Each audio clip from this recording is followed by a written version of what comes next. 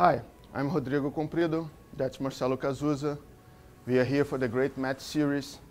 Now we're gonna make a sweep on the close guard.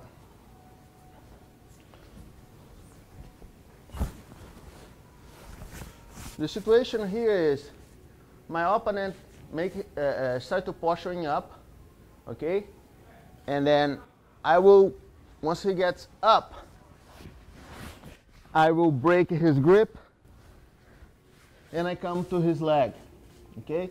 I control his leg here and then move my hip as close as I can and I will come to his arm. Make a pocket grip here and I control his arm.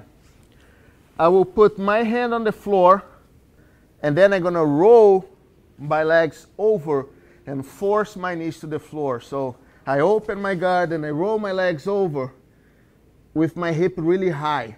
And then I have to go with my hips to the floor in once. So touch here, roll, and come with my knees on the floor.